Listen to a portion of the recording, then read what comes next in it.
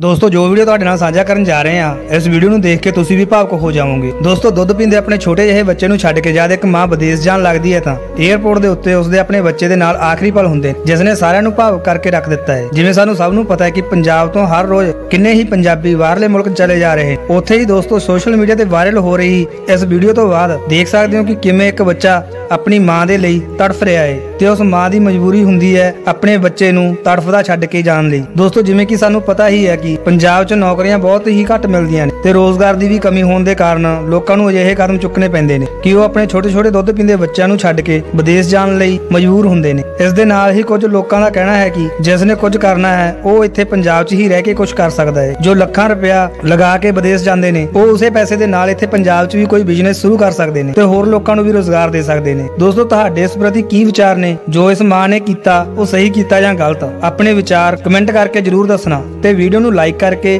share ਵੀ ਜਰੂਰ ਕਰ ਦੇਣਾ ਦਿਓ ਇਜਾਜ਼ਤ ਰੱਬ ਰਾਖਾ